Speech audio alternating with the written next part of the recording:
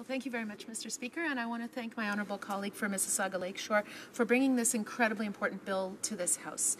And uh, I, I, had the privilege of, of, sitting on the Status of Women Committee when the bill came before our committee. I want to thank our colleagues on the committee who, uh, who worked hard on this as well. And I think that when we talk about a Gender Equality Week, what we're really talking about is bringing people together across the country, whether it's civil society, parliamentarians, researchers, other groups, to be able to multiply the conversations, to be able to start a real engagement on gender equality in Canada. And we know, we know from many, many studies that women and men in Canada are not equal today. We can see it here in this House. 27% women are elected to this House. We see it in other kinds of leadership bodies, on corporate boards. And I'm very, very pleased at what our government is doing, for instance, in Bill C 25 about women in corporate boards to make sure that companies have a comply or explain model. So they have to have diversity policies. I'm particularly pleased at what the Minister of Science has done in the past week regarding women in research. That universities that don't have a diversity policy within the next next two years and reach their targets will no longer get Canadian research, federal government research funding for Canada Research Chairs. And I think this is the kind of thing we've tried many other ways, and this is the kind of thing that is needed because we have not seen significant increases in gender equality in Canada in several decades in many different fields. And we in the Status of Women Committee right now are studying women's economic security. We've had a number of different groups come to us, and we know that women in Canada today are not making the same amount of money for the same kind of work as men.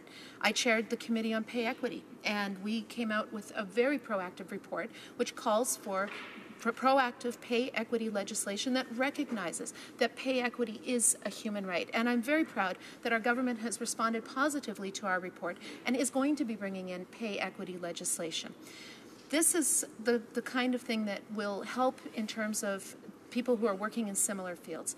But we also know that the wage gap includes a number of different factors that aren't necessarily just about pay equity. For instance, uh, the, the precarious work. There are more women working in minimum wage jobs. There are more women who are working in part-time jobs. Today, we heard in the Status of Women Committee that in the bottom seven deciles, so the up zero to $70,000, um, there are more women earning that amount. And as soon as you get over 70,000, there are more men. So it's clear that we have a long way to go. And particularly when it comes to women in the STEM professions. When it comes to the jobs that pay good money, when it comes to the kinds of good jobs that create Canadian prosperity, women are not choosing those jobs. Women, uh, either because of socialization, because of lack of role models, uh, there are a number of things that we need to do to be able to improve the situation for some of the young women in our in our communities.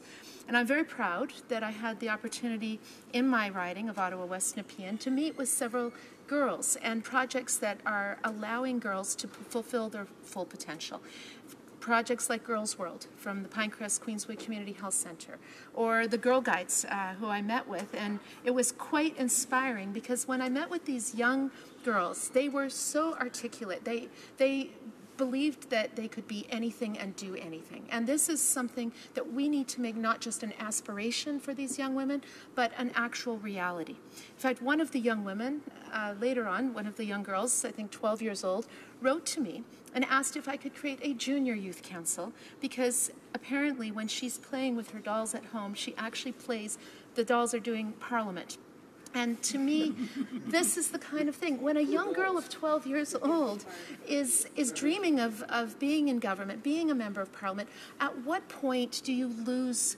that, that aspiration? At what point does that young girl think, well, that's not something that's for me? Because we still don't see as many women winning nominations and winning election to this place as, as we ought to.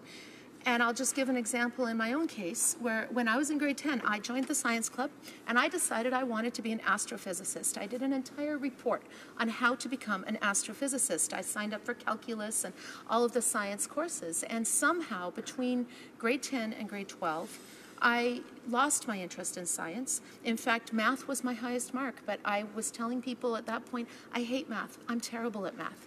And it's something that I continue to repeat over and over for decades. Oh, I'm terrible at math.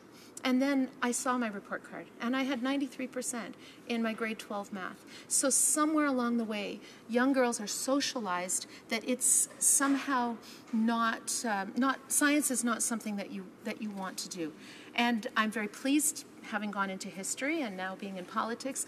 But I think that what we need is to create a world where young girls and young women have the same opportunities, the same kinds of, uh, the, the, barriers are no longer there so that they would be able to achieve the kinds of things that when you're 12 years old you dream of. And that somehow along the way we, we see that inequality coming in. And when I talk to young students that come here and I tell them that young, that men make a dollar for every 73 cents that a woman makes, they gasp. They look at me and they say, How is that fair? Even young children know that that isn't fair. And so I thank my honorable colleague for bringing this incredibly important bill before the House. And I hope that it will get support across all the party lines because this is an opportunity for us to really make sure we're doing something about the gender gap in Canada. Thank you.